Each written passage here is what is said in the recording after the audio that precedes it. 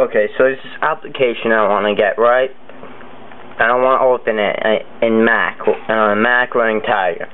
Okay, um, you can download it to your desktop, or documents, or wherever you download to, or if it's already on your computer, just drag it to your desktop. I'm going to use Airport Disk Utility.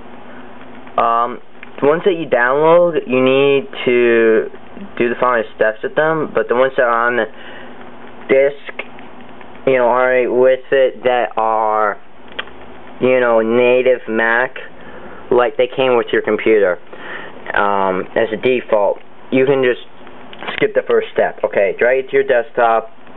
And now the first step to actually hacking it is, this is part you can skip if it came with the computer, change the name of it.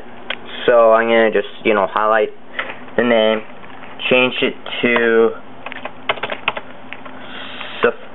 Safari with a capital S. Now, you know, right click on, or if you don't have a Mighty Mouse, you can hold down Control and click. I'm going to go to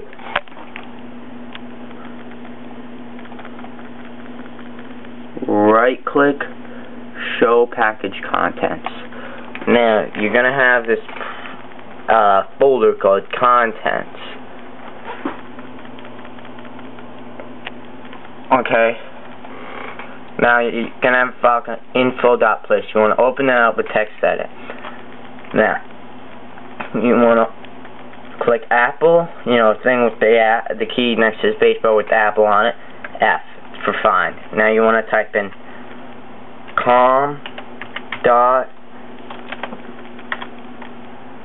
and if this doesn't turn up any results, try org dot I mean org dot net dot fr dot until you find it. Or you can find something that looks like this. It'll be like com dot apple dot safari, you know, something like that. Now there are these this line of thing. In this application, it's com dot apple dot airport dot disk utility. It's between these two things, um, string and string, and they have those uh, greater than and less than alligator mouth things that you used to call it. And you want to change this to com dot app between the two uh, greater than greater than and less than string, you know, symbols. Com dot apple dot safari and make sure Safari is a capital S. Now save, quit, close this window. Now, you can open up application. That's it.